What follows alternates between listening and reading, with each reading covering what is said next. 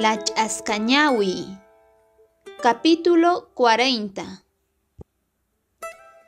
Ay, warmisgay, señor. Munakuyki, munakuyki nispa, manka ukumampis umata man señor. Sentencioso, meneando la cabeza, afirmaba con aire escéptico el zemillo Chambi ante un grupo de peones de la granja, con los cuales departía alrededor de una fogata donde su mujer iba preparando la merienda. Chambi acababa de regresar de Chirca, donde fuera enviado por Adolfo a comprar el servicio de copas que deseaba obsequiar a doña Clara para sus cumpleaños. Como la suma que pagó por aquello le pareció a Remigio un exceso y sabía de los amores de su patrón con Claudina, no pudo menos que deducir de aquello aquella schopenhaueriana sentencia con la que edificaba a los peones de la granja. Era un indio amestizado ya, su agudo de ingenio, de una perspicua claridad de observación, y su manera de idear y de hablar de una visible socarronería escéptica.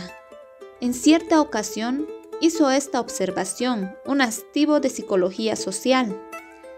Hablaba que los bolivianos no habían inventado nada. Todo lo que hay fuera de lo creado por la naturaleza es hechura de los gringos. Escéptico de la misma divinidad y ateniéndose solo a la realidad objetiva, sentenció. Dios pis, Dios cha, gringos puni. Adolfo al día siguiente le ordenó, Zemigio, lleva esto a Mollepata y después de saludarla a mi nombre a doña Clara y felicitarla por su cumpleaños, le entregas este obsequio. ¿Has entendido? Sí, mi patrón, repuso en buen castellano y se fue murmurando entre dientes. ¡Ay, señor Warmisgay! En eso de las diez llegó un peón de Mollepata. Traía un recado de doña Clara. Le agradeció el valioso obsequio y lo invitaba a almorzar. Adolfo reflexionó que no le convenía ir temprano por el peligro de embriagarse a las primeras de cambio. Prefería ir un poco tarde. A las cinco se encaminó a Mollepata. Los señores están en la huerta, le informó la criadita de la casa, la asunta. Debe de haber buena concurrencia, conjeturó Reyes. Vio hasta ocho o diez caballos ensillados, pero desenfrenados. Mordisqueaban la alfalfa que les había echado a la sombra de los churquis. Del lado de la huerta llegaba el ritmo de un calullo preludiado por una estudiantina de guitarras y bandolines. Allí se encaminó el recién llegado. Unos sentados sobre un tronco de molle y otros en sendas sillas rodeaban a doña Clara. Estaban ahí Marina de Jesús Paredes, señora como de 60 años, propietaria de la puerta, un extenso viñedo, dos leguas río abajo, sus dos hijas Justina y Rosaura, y sus dos hijos, Ladislao y Rodolfo. Hernán Martínez, que había bajado de Chirca el día de elecciones, cuando se escapó de la plaza después de haber amedrentado a los polizontes de la Chacachi con su intempestivo disparo. Guillermo Ruiz, que vino a la propiedad que poseía su madre en la ribera de Viñapampa, dos leguas río arriba de Mollepata. Vino a la región por concurrir a la jarana con que tradicionalmente festejaba su onomástico Doña Clara. Era uno de los cumpleaños clásicos del lugar, como por sustraerse a los abusos del cura y del subprefecto. Igualmente, don Pascual Vega estaba entre ellos por ambos motivos. Véanlo a este, reprochó Claudina, a la hora que viene. Doña Clara le regañó también por su tardanza. El resto de la concurrencia pidió por aclaración que en castigo se le sirvieran las copas dobles. No era justo que él se encontrase sano cuando ellos ya estaban arriba. Ladislao, que tenía fama de eximio guitarrista, no dejaba de tocar sus guaiños, calullos y cuecas, acompañado por Hernán con su guitarra y por Guillermo con su bandolín. Bueno, en agradecimiento a Adolfo, manifestó doña Clara. Vamos a estrenar las copas que me ha enviado de obsequio, sirviéndonos un vinito añejo que estaba guardando para una ocasión como esta. Anda, trae hija, ordenó a Claudina. Ese que te indiqué ayer, el que está en el barrillito, chico. Claudina diligente trajo el añejo. ¡Qué bonitas copas! Observó doña Mariana de Jesús. Son pues las que me ha mandado de obsequio el Adolfo, ratificó la anfitriona. Pero mejor es el vino, observó Ladislao, llevando su copa y apreciando la calidad del vino al trasluz. A ver, prueben, ¿qué les parece? No tiene más que cinco años, pero tengo otrito de siete. A la salud de doña Clara, exclamó Ladislao que el cielo la conserve por muchos años para que siempre nos regale con esta bebida de los dioses. A su salud, doña Clara. Levantaron sus copas todos a un tiempo y vaciaron el vino hasta las heces. El que tenía buenos vinos, rememoró doña Mariana, era don Ventura. Tenía unos borgoñas tintos del año en que nació Berta, que solo hacía sacar una, dos o tres botellitas para cada cumpleaños de su hija. ¿Se acuerdan ustedes? ¡Oh, los vinos de Don Ventura! confirmó Ladislao. Con un par de copas de esos vinos, uno se ponía a cantar y con media docena a la cama, dirigiéndose a Adolfo. Pero tú ya no has tomado de esos vinos de tu padre, estaba en Sucre entonces. Tu padre sí que sabía hacer buenas fiestas. Aquellas nogadas de pato que nos invitaba... Ay, suspiró Rodolfo. Y las calapurcas. Ese es plato regio, acrecentó Ladislao. Oh, lo que habremos jaraneado en la granja. Pero ahora ya no debe haber nada ahí. Esa finca está abandonada en manos de los peones. Si tú, Adolfo, fueras como tu padre, otro gallo te cantaría.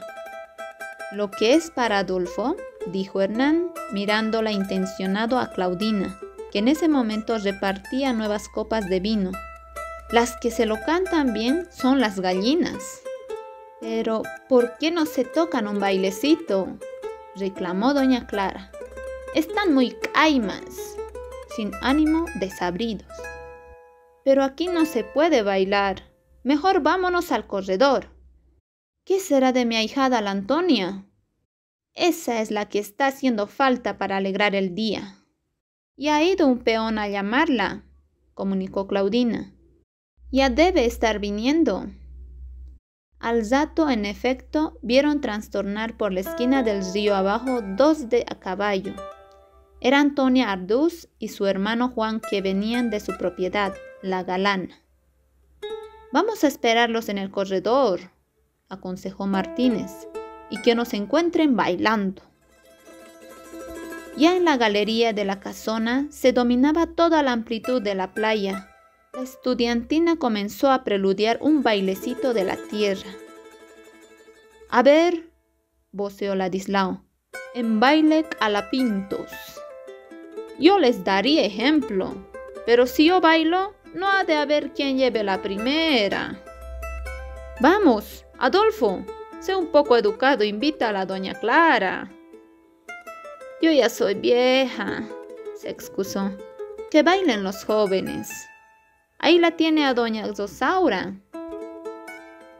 No, no, protestaron todos. Primero la del cumpleaños accedió doña Clara. Cuán alta y gordaza que era, se puso en pie trabajosamente y bailó un bailecito a la usanza de sus tiempos, con pasos lentos y ceremoniosos, con profusión de dengues y venias. Belay, dijo al concluir, ya les he dado gusto, ahora les toca a ustedes.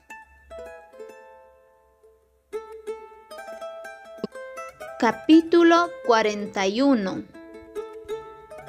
A poco se escuchó un tropel de acorceles. Antonia se había adelantado. al galope llegó hasta cerca de los churquis. Salieron a recibirla. Hernán se apresuró a ofrecerle el brazo para que desmontara. Antonia, garrida amazona, bajó de un ágil brinco. ¡Qué bien lo habían estado haciendo ustedes! exclamó sonreída. Traía las mejillas encendidas por aquel sol de junio que brillaba desde un cielo de azul bruñido. Antonia, como de unos 25 años, era espigada y grácil, de piel más morena que blanca y de ojos negros vivaces y picarescos. Su alias era popular en toda la ribera, la negra de la galana. No era una mujer hermosa, era algo peor que eso, muy avispada de una euforia de ardilla, especialista en cumpleaños y fiestas de guardar. A ver, un buen añejo para mi ahijada, demandó doña Clara, y brindándole una copa, tienes que tomar esta copa por tu madrina, le dijo. Mil gracias, madrina, recibió el vino, sonriente. Las pupilas brillosas, toda ella un rayo de luz. Siempre que me acompañen ustedes, todos los de nuestro río, toda la comunidad. ¿Cómo no? Con tan linda ricura. No solo una copa. Choque, negrita del río grande. Se entusiasmó don Pascual, aproximando su copa a la de ella. Así me gusta a mí las mujeres, francas y alegres. Luego volviéndose hacia doña Clara, que había recobrado su asiento en la testera del corredor. vida cosaga. Y de no, no vale. A ver un baile, don Pascual, sugirió Guillermo, con la negra. No, mejor una cueca, corrigió Hernán. Cueca, cueca, pidió la concurrencia. Ladislao comenzó a preludiar y rompió a cantar. Con resignación espero, en el destino confío, que ha de volver algún día a mi poder lo que es mío. A las flores del campo yo las adoro, al verlas marchitadas, por ellas lloro. Otra, otra, una sin otra no vale pidieron en cuanto concluyeron las primeras. Al poco rato que llegó la negra al día Chaco, asumió la animación de lo ritualmente prescrito en la arcádica vida de Viñapampa. Los mozos dirigidos por Claudina, que estaban de servicio, hacían circular charolada tras charolada de vino y de chicha de maní o singani, de lo mejor para los que lo preferían.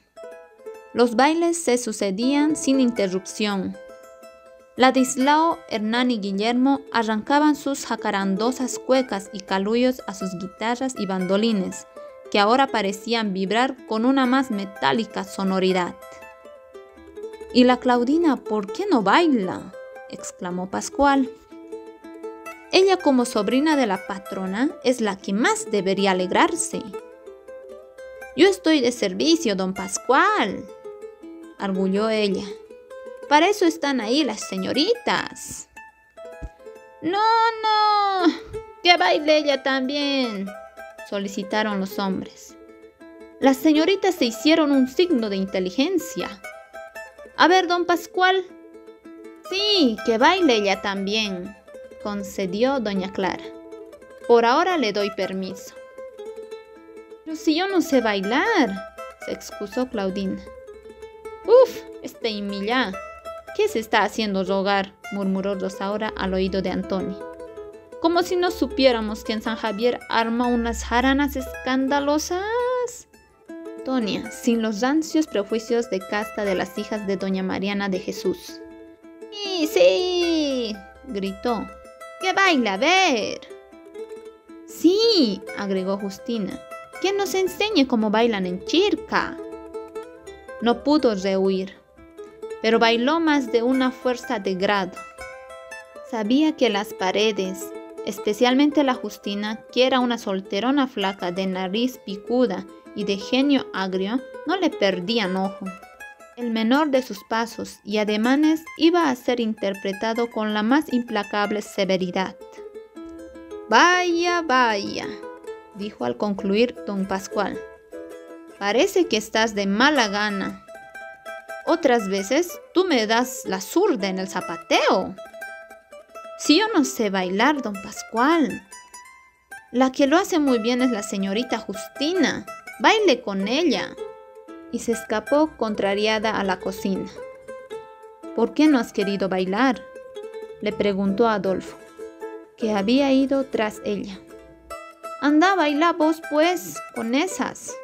Esas son las de tu clase. Yo no tengo derecho aquí de alegrarme. Yo no soy más que una sirviente. ¿Por qué dices eso, chasquita? Más bien tú aquí eres la dueña de casa y vale cien veces más que esas pobres señoritas tilingas. Sí, claro, pero ellas son pues de vestido y yo soy de pollera. Anda a bailar con ellas. No, si yo no he venido aquí por ellas, sino por vos. Tú lo sabes muy bien. ¿Y quieres? ¿Por qué estás así?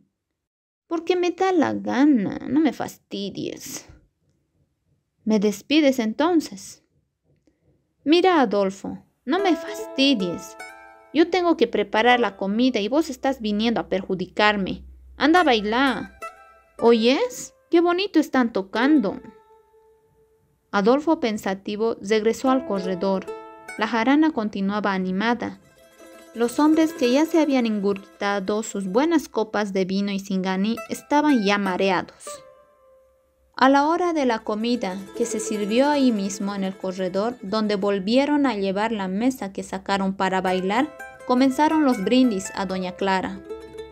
Ladislao, que tenía fama de orador, y también su hermano Rodolfo, que competía con él, no perdonaban cumpleaños en que no improvisaran uno con sus brillantes discursos, que de tanto decirlos ya se los sabían de memoria.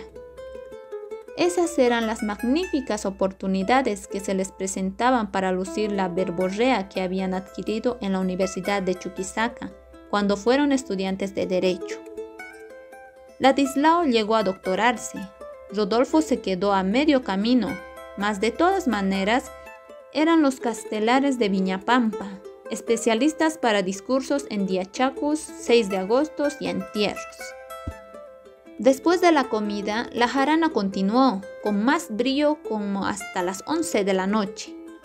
Doña Marina con sus hijas se retiró a dormir en la habitación que les tenía preparada doña Clara.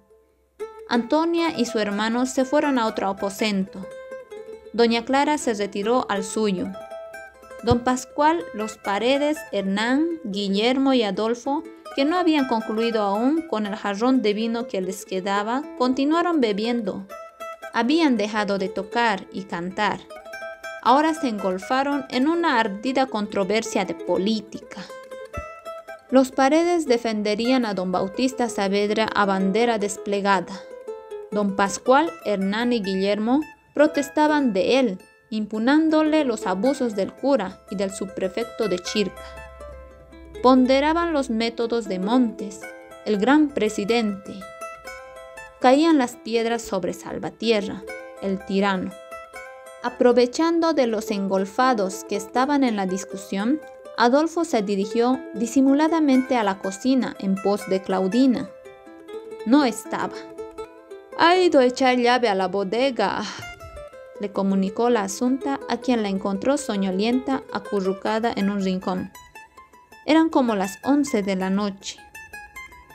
Reyes bajó a la viña y se dirigió a la bodega. Se encontraba en el centro de la hacienda. Habíase sentado al borde de una sequía a la sombra de una higuera, como a cinco pasos de la bodega. Con la diestra apoyada en la mejilla, estaba triste y pensativa. Adolfo tembloso se aproximó a ella. No estaba ebrio, sino en el grado eufórico de la embriaguez. ¿Qué tienes, chasquita? le preguntó cariñoso. ¿Y han dejado de beber esos tipos? ¡Qué sinvergüenzas! Esos no son capaces de contentarse ni con toda la bodega. ¿Y vos? ¿Qué milagro no estás andando de cuatro pies? Ah, no. No vuelvo a emborracharme más. Que te crea tu abuela. ¿Y esas señoritas? ¿Ya se han dormido? Semejantes pilfarras. Si una fuera como ellas, que se están rogando a los hombres. Y en lío con sus peones. Y después ellas son pues las santas, las virtuosas. Como si no las conociera. Bueno, che, Adolfito, anda donde esas. Esa Antonia te conviene, tan buena moza que es. No digas disparates, Claudina. Tú eres la única linda para mí. Así te matara, exclamó y la abrazó violentamente buscando sus labios para besarla. No, no, rechazó ella. No seas abusivo, voy a gritar. Atrevido. Adolfo, excitado por un infrenable deseo y audaz por el vino, no trepidó en hacer la suya, costare lo que costare y forcejeando logró echarla de espaldas. Ella intentó rechazarlo aún y dio un grito que Reyes sofocó con sus besos. Ella comenzó a entregársele y jadear, y se le abrazó a su vez ciñéndole con tal vigor serpentino de sus fuertes brazos como si fuera a triturarle los huesos. ¡Ay, cuánto te quiero! Estaba sofocada, sudorosa y sedienta aún de calmar esa sed que le hostigaba, mas luego sintió como una sensación fresca de la lluvia sobre la tierra reseca. Ella se incorporó, se arregló el cabello y echándole los brazos al cuello, le vació sobre el pecho el ánfora colgada de sus senos robustos y lo besó con sus labios carnosos, sensuales, jugosos. Desde ahora, jadeó, has de ser mío, mío, mío y de nadie más.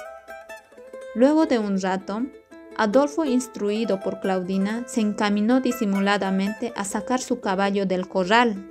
Lo ensilló y tomando por la vereda de arriba que cercaba a Mollepata para no pasar por delante del corredor, se marchó a la granja. Claudina se encaminó a la casa y entró al corredor. Don Pascual había concluido por arrojarse, derrengado a un sofá, y dormía con la boca abierta, respirando con un silbido estertoroso. Ladislao, al otro lado del sofá, roncaba también mientras un hilo de baba comunicaba sus labios con el suelo. Los otros, después de haber concluido el vino de la farra, habían desaparecido con sus guitarras. Estos aprovechadores, se dijo Claudina. Seguramente se han ido a terminar la farra donde las semillas de la palca.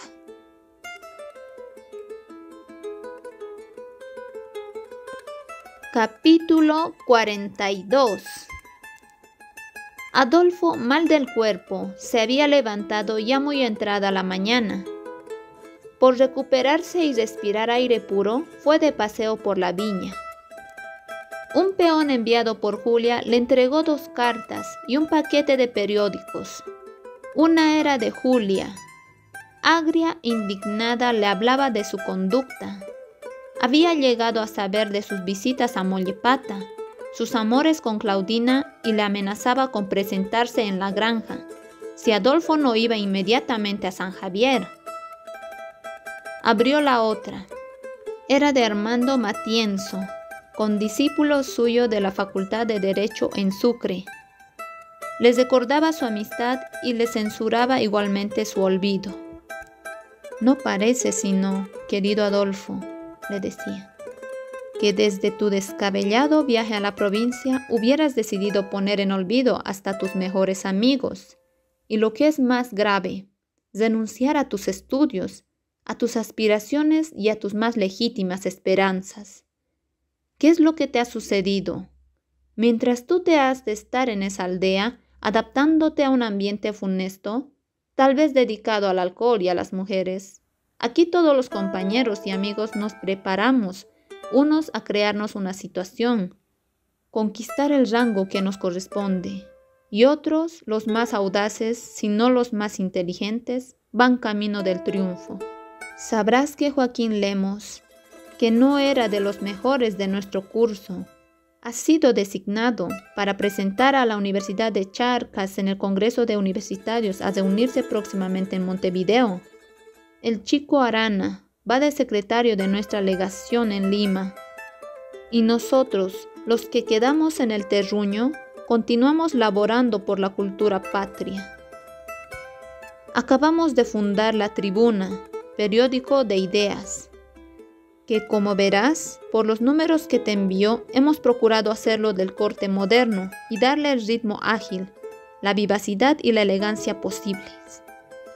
Al mismo, al mismo tiempo, estamos organizando la Universidad Popular, donde nos proponemos dar conferencias difundiendo ideas a las clases obreras.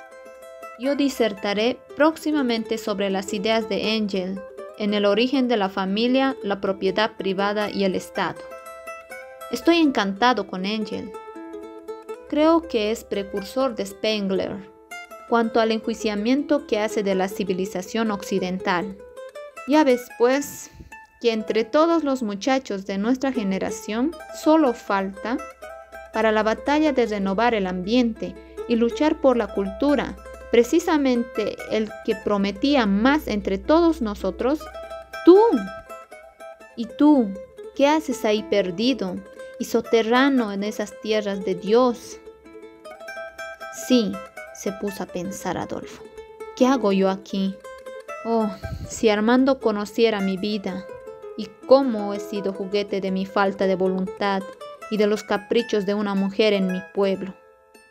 La mañana destemplada y ventosa de invierno sacudía las ramas amarillentas de los sauces y álamos que alinderan la granja arrancándole sus últimas hojas marchitas que caían al fango para pudrirse allá en el agua estancada. Los cerros incumbecinos de un hórrido gris invernizo parecían cubrirse de un sayal de penitente, y todo contribuyó a sumir a Adolfo en esa desesperación callada y sentimiento de derrota que desde hace algún tiempo, desde que se casó con Julia, iba comenzando a sobrecogerle con alarmante frecuencia. Para fugarse de este estado de ánimo insoportable, no encontraba otro recurso que obnubilar su conciencia extraviándose por entre las brumas del alcohol. Pero ahora le iba viniendo la repugnancia de su vida, tal hastio de esas diversiones estúpidas como los diachacos y jaranas, y tal asco de su propia conducta que decidió reaccionar echando mano de toda su energía. Mientras yo voy pasando este año engolfado en las más absurdas aventuras, reflexionó apoyándose al tronco de un sauce de mustias ramas. Mis compañeros de facultad han continuado sus estudios, acrecentando su cultura, afinado su sensibilidad y elevado su espíritu. Todos van encaminando su vida tras un ideal superior unos están realizando una obra de cultura que, al mismo tiempo de que prestigio, les satisface sus mejores inclinaciones.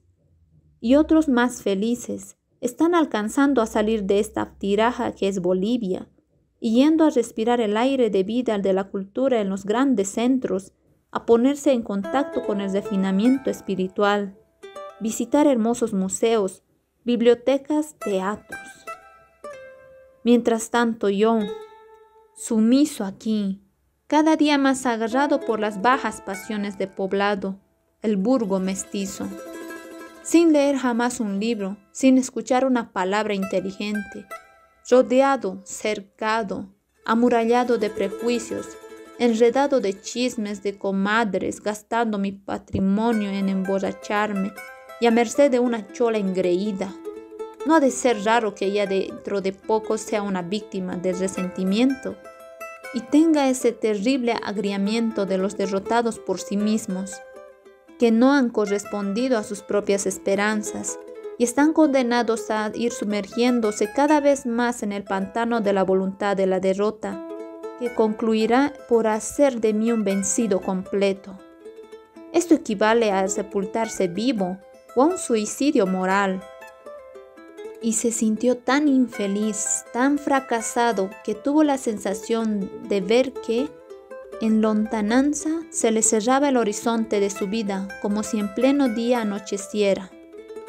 Se acordó entonces de aquella trágica sentencia quechua que dicen figura como epitafio en la tumba del mariscal de Ayacucho. Chaupip unchaipi tutayarga. A mediodía anocheció. Salió por un portillo del cerco a pasear por encima de los defensivos que resguardaban su propiedad. El río Grande pasaba por la orilla calmoso y solemne ahora. Adolfo tomó asiento al borde de un reparo y se distrajo un momento contemplando el lento fluir del agua, como hipnotizado por el rumor ensoñador de las ondas.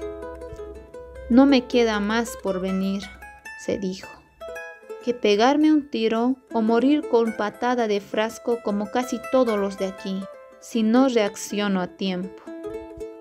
Tuvo ímpetus de arrojarse al río, así concluirían de golpe todas sus inquietudes se resolverían todos sus problemas. Pero en ese momento se acordó de su madre, la pobre viejecita, tan sufrida y amargada.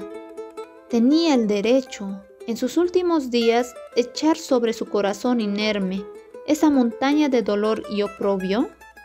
No, eso sería una vileza y una cobardía. Había que reaccionar, que echar mano de toda su energía y dominando sus pasiones que más eran concupiscencias, que no podía subsanar los errores cometidos, abandonar esa vida ociosa, causa de sus borracheras, y emprender el camino de la redención? Era lo mejor que debía hacer.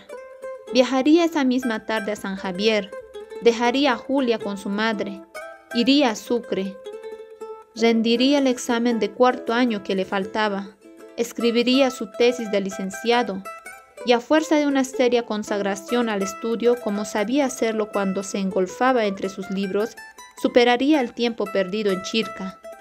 Rendiría al año su examen de tribunal, ingresaría a la redacción de la tribuna y volvería a rehacer su vida de hombre de conducta ejemplar y de trabajo creador que había sido en Sucre.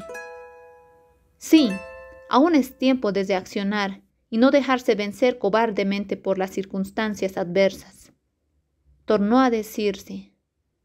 Es preciso no dejarse llevar por la línea de menor resistencia, no ir cuesta abajo por el desempeño del vicio, sino virilmente emprender monte arriba del camino a la redención moral. Arrojó con desprecio el cigarrillo que estaba fumando y animoso se encaminó a la casa. En el patio y hacía un buen rato lo esperaba el Juandela, el guatarruna de Mollepata, peón del año. Le entregó una esquela de Ladislao Paredes. Querido Adolfo, nos ha extrañado mucho que anoche te hubieras mandado mudar de un rato para otro. Hoy estamos haciendo la corcova de Doña Clara y hay más entusiasmo que ayer. Doña Clara, por mi intermedio, te insinúa encarecidamente quieras acompañarla hoy día más. Te esperamos para el almuerzo, que promete ser opíparo con una suculenta calapurca que han preparado las manos angelicales de tu Claudina. Y hay un vino mejor que el de ayer. ¿Quiénes están ahí, Juandela? Ahí están todos, niño. Los niños Paredes, doña Antonia y los demás viracoches. Solo usted falta. ¿Y la Claudina? ¿Qué hace? Ella también, ya parece que está mareada porque está riñendo con las señoritas. Bueno, diles que no me esperen almorzar, porque estoy muy ocupado, pero iré a la tarde. Mandó ensillar su caballo y tomando por el alto de la granja para no pasar por la playa de Mollepata, emprendió camino a San Javier. Allí se dijo, no me demoro más de una semana, lo estrictamente necesario para arreglar mis asuntos, dejar arrendada mi parte de la granja a Gutiérrez y a Julia al cuidado de mi madre, y regresar a Sucre a rehacer mi vida. De hoy, pensó alborozado, incipit vita nova.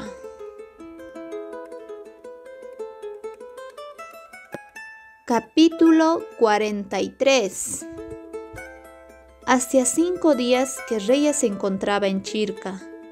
Afanosamente había dispuesto todo lo concerniente para estar pronto a viajar a Sucre, como era su propósito firme y definitivo. Gutiérrez iba a tomar en arriendo la granja. Julia, en vista de que Adolfo a continuar en San Javier iba a seguir con sus criminales amores con esa maldita chola, consintió de buen grado en que se marchase a Sucre. Decidió ir a vivir en compañía de su suegra, doña Eufemia, y resignarse a la ausencia de su esposo mientras durase su embarazo. Contaba ella con otra obra de tiempo. En Sucre, pensó, se olvidaría de esa chola, y cuando yo tenga a mi hijo, viajo allá para acompañarlo, y quizá haga el destino que si no por mí, por nuestro hijo se restituya al hogar. Nuestro hijo será el vínculo que nos una. Toda la parentela de Julia, su madre, su padre, su suegra, eran el mismo modo de parecer. Y así se lo aconsejaron a Julia, que procure de todos modos despacharlo a Sucre, hacer que concluya sus estudios y formalice su vida. Se encontraba Adolfo aquella mañana sentado en un banco de la plaza al lado de Miguel Mariscal. Este le decía, Sí, hijo, lo mejor que puedes hacer es irte, concluir tus estudios, recibirte de abogado y trabajar, hijo, por tu porvenir y por tu prestigio. Mañana has de ser una gran cosa. Lo que quedándote aquí, el porvenir que te espera. Ah, ¿desde cuándo está la Claudina aquí? Adolfo se sorprendió más. Un súbito estremecimiento le recorrió por todo el cuerpo, sacudiéndolo como una corriente eléctrica. De mantón claro, de brilladora espumilla, pollera color naranja, zapatillas blancas y medias del mismo color de la pollera, airosa y cimbreante, pasó acompañada de Óscar Arraya, quien había llegado hacia poco de los minerales de San Patricio, donde había obtenido la importante jerarquía de jefe de la pulpería, antesala segura de la riqueza. Como era su costumbre, Claudina no podía estar sin llenar con sus desenvueltas carcajadas el recinto sagrado de la Plaza Campero. Al pasar por delante del banco donde tertuliaban Miguel y Adolfo, se rió a mandíbula batiente de algo muy sabroso que le decía Raya.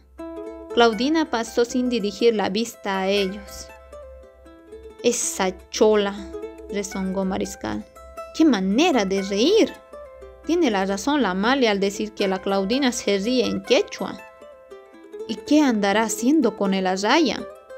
De seguro que ese tipo ha venido a proponerle llevársela a los minerales. Tal para cual entre cholos se entienden. Si alguien me repugna, es ese tipo, expresó Adolfo. No conozco un hombre más solapado, más hipócrita que ese. Tienes razón, ratificó Mariscal. Por eso le dicen de mal nombre el Beato. Tiene una madera de insinuarse tan, como diré, tan untuosa, tan gelatinosa, que cuando me da la mano es como si estuviera apretando un sapo o un murciélago.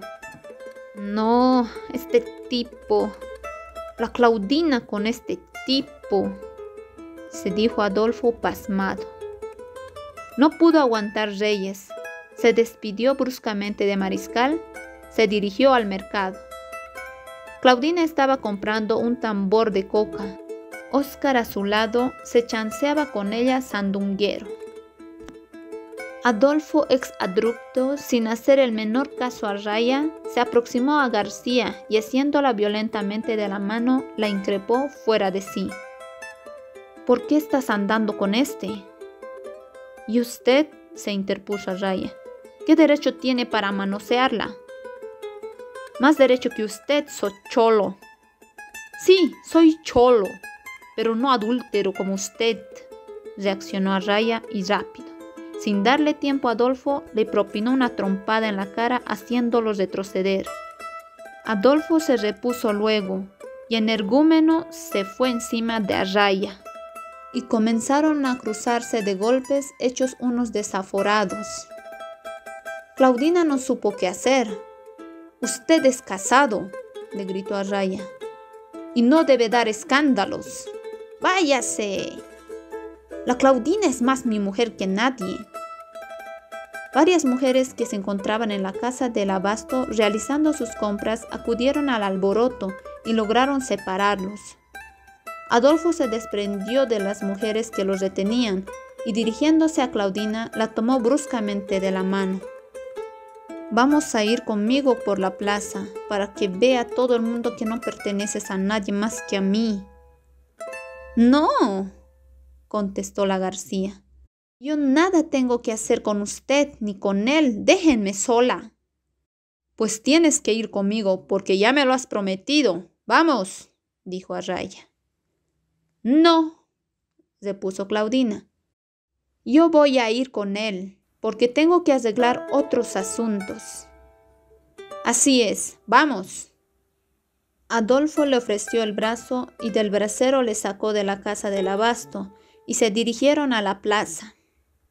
Ahora, le dijo Claudina, si me quieres, tienes que darme una prueba, como yo acabo de dártela. Vamos a pasar juntos por delante de tu casa. Cruzaron la plaza. Los vecinos, doña Rosa Sánchez en su tienda de la esquina, los cocanis que tenían sus almacenes en otra cuadra y otros curiosos los vieron pasar del brazo. Tomaron luego por la calle Avaroa y llegaron a la esquina General Mariscal, donde se encontraba la casa de Reyes. Como si el diablo lo hubiese dispuesto, doña Eufemia y Julia estaban cosiendo a máquina en la habitación de la esquina, que tenía puerta a la calle. Julia, que al sentir ruido de pasos se había asomado curiosa a la puerta, sufrió una impresión tan fuerte que apenas pudo articular un ¡Ah! y cayó desplomada con un síncope. Doña Eufemia tuvo el valor de salir hasta la esquina y lo llamó. Adolfo, Adolfo, ven. A Julia le ha dado un ataque. Claudina le volvió la cabeza y se rió con orgullo y desdén. Adolfo apresuró el paso y sin dar oídos a su madre. Llegaron a la casa de Claudina, entraron al tenducho Reyes tomó asiento en la cama de la García, ella a su lado. Ambos permanecieron un largo rato en silencio. Ese silencio patético y medroso en cuya entraña suelen fraguarse las tempestades. ¿Por qué estás andando con ese? le preguntó al fin Adolfo, colérico aún. Claro, pues, repuso afirmativa Claudina. Como vos te vienes donde tu mujer, yo he venido a buscar. ¿Qué? ¿Qué dices? Lo que has oído. Mira, Claudina, no me desesperes más. ¿Qué tienes que hacer con el Oscar? Lo que vos tienes que hacer con la Julia. Pero ya ves que la he dejado por vos. Yo también le he despreciado al Oscar por vos. ¿Quieres más prueba? Pero ahora, si vos quieres vivir conmigo y que yo no haga caso a nadie, tienes que dejarla a tu mujer y no hacer caso más que a mí. Como yo estoy haciendo el sacrificio de perder mi honor, la protección de mi tía, todo lo que quería hacer por mí el Oscar, y está faltando el respeto a mi madre por vos. Ahora mismo, si mi mamá sabe que estoy charlando con vos, la pelea que nos va a tener, y lo mismo con la Ignacia. Pero cuenta con pago, ya que lograste hacerme tuya, ahora tienes que ser mío, mío y de nadie más. Ya veremos. No te escapas de mí ni con la ayuda de toda la corte celestial. Pero mira, Claudina, vos sabes que te quiero más que a mi vida. Por ti acabo de desobedecer a mi madre y dar un escándalo en el pueblo. Mira, no seas mala conmigo. Pero no me ultrajes paseándote con ese tipo. Vámonos mejor a la granja. Ahí vamos a vivir tranquilos sin que nadie nos perjudique. ¿Y quieres? La abrazó, besándola con la suprema desesperación de quien rato antes había estado a punto de perderla para siempre y que le parecía haberla recuperado por un milagro. Le vino un nuevo ataque de enternecimiento y se olvidó de todos sus deberes, hasta de los vínculos sagrados como el de su madre, cosa que le ocurría cuando se veía en presencia de Claudina, entregándose inerme, sin reflexión, sin voluntad, como atado de pies y manos a los pies de ella. Ahora, le dijo Claudina, ¿te vas a quedar a almorzar aquí? ¿Quieres que te prepare unos yungueños? Diligente y alegre, comenzó a exprimir el jugo de naranja en la coctelera. Vueltos a la paz, se sirvieron cordialmente a los cócteles. A mi madre le voy a decir que has peleado con tu mujer y que te vas a quedar a almorzar y comer con nosotros. No tengas cuidado, pero por si acaso vinieran a buscarte de tu casa, la cerraremos la puerta. Vámonos a la cocina. Doña Pascuala, a quien Claudina la había embrollado diciéndole que doña Clara le envió a comprar tambor de coca para los peones de Mollepata, no alcanzó a sospechar el móvil de la inesperada presencia de Claudina en Chirca. Pero la Ignacia, que vislumbró bien sus andanzas, no puso ningún reparo, porque tenía también la voluntad sometida a la chascañahui.